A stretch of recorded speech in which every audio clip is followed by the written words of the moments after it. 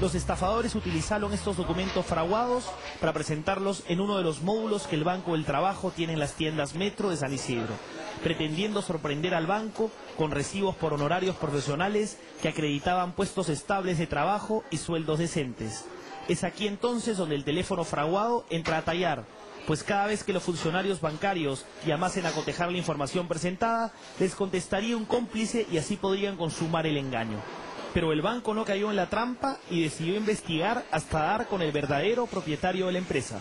El Banco de Trabajo me llama, que estaban haciendo una investigación porque una serie de personas estaban solicitando crédito respaldándose que trabajaban en la compañía, ¿no? Me preguntaban si, si, una, si esta persona de acá, la señorita Marisa Judith Delgado, trabajaba acá y dije que no, ¿no? Y, acá muestra, y, y luego me muestra una serie de, facturas. De, claro, de recibo por honorario con un, con un sello supuestamente nuestro, ¿no?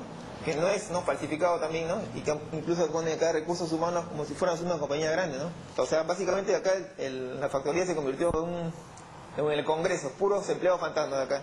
Los estafadores solicitaban tarjetas de créditos de hasta 5 mil soles. Las hubieran gastado inmediatamente porque tenían una tarjeta con su nombre, con un DNI, podían ir a cualquier otro establecimiento y les hubiera sido imposible detectar estos fraudes.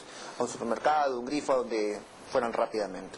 En este caso específico, cruzaron información de SUNAT, cruzaron información de páginas amarillas, páginas blancas y dejaron algo con RENIEC y de, Cruzando toda esa información concluyeron que estas personas estaban presentando documentos adulterados. El titular del mencionado número telefónico es el señor Juan Agripino Calvo Álvarez, hasta el momento, para los investigadores, el único sospechoso del intento de estafa. Un señor inubicable puesto que consigna su dirección en Piura. Nuestra unidad de investigación buscó, sin embargo, a las dos personas cuyos nombres aparecen en los recibos por honorarios profesionales y en las solicitudes de tarjetas de crédito. La primera, Marisa Delgado Hacho, simplemente no vive en la dirección consignada en su DNI. Y la segunda, Carmen Rosa Sala Sánchez, resultó ser una humilde señora de Pamplona Alta en San Juan de Miraflores, quien asegura no saber nada de nada.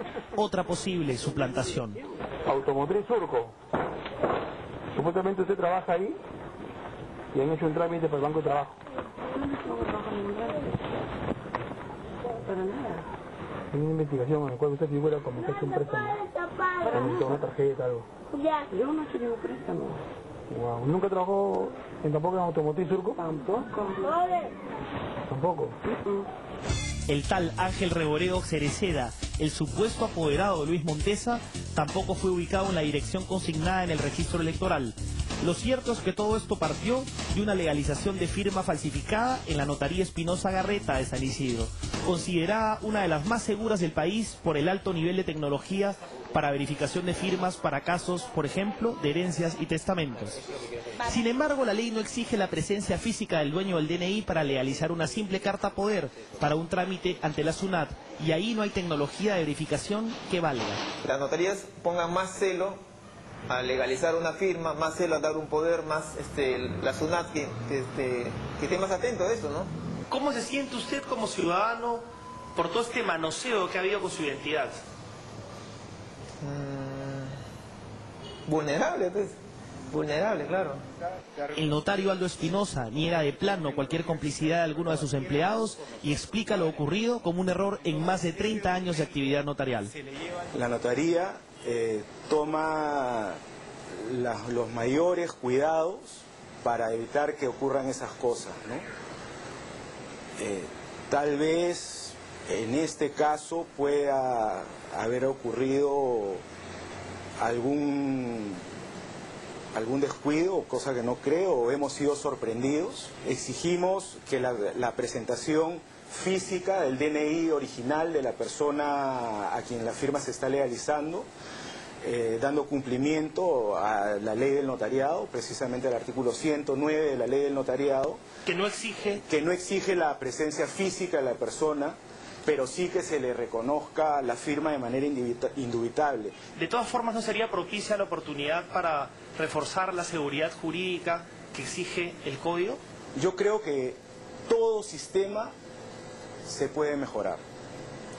El hecho de que funcionen bien, que el sistema funcione bien, no significa que no se pueda mejorar, ¿no?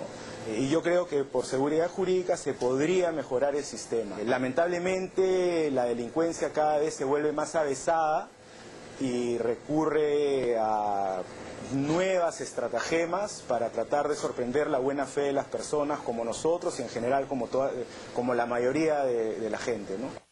La denuncia ya está en el Ministerio Público, el que deberá ahora desatar toda esta elaborada telaraña de engaños para poder dar con este grupo de estafadores que ni siquiera la policía ha podido detectar y que ya logró engañar a la SUNAT, a Telefónica y a una prestigiosa notaría. A tener cuidado.